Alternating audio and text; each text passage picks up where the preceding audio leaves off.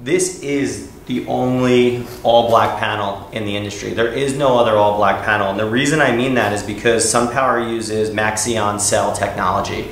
So that means all of the conductors are on the backside of the cell, where in a typical panel, the conductors are on the front side of the cell, which are in effect shading the cell, which is why you need more cells on your roof, which equals more panels to produce the same amount of power as the SunPower panel.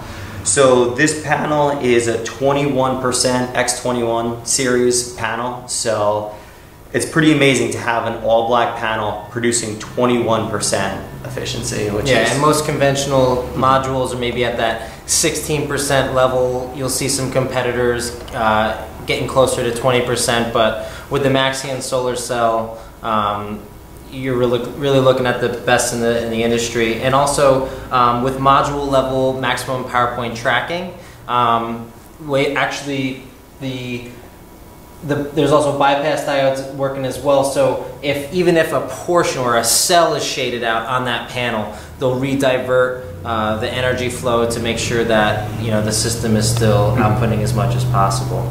This has, um, when you see how many cells are in a panel, so there's two cells here.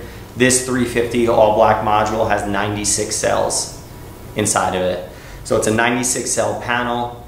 The reason we like this panel, I personally like this panel, is it's the sleekest module on the roof. I mean, there's yeah. no other design. When someone's really concerned with aesthetics or if the solar is going to go on the front of the house, we think all solar is beautiful, but when someone is really concerned about it, we only recommend the 350 all black module for it. It's sleek, it's slimline, and uh, it's a cool product. Anything else you would add? No, I, I, th I think you said it right there. Um, with, with the Invisimount racking that works along with this module frame, um, there's no extra rail sticking out beyond the, mm -hmm. the array. Uh, everything's trimmed and cut to size. Everything has end camps, uh, end clamps. Uh, uh, you know, it, it, really is a beautiful system. Junction boxes being hidden underneath the panels, giving that floating look. Mm -hmm. A big, uh, you know, all blacked out on maybe your graphite black shingles. Um, really, you know, ties in nice together.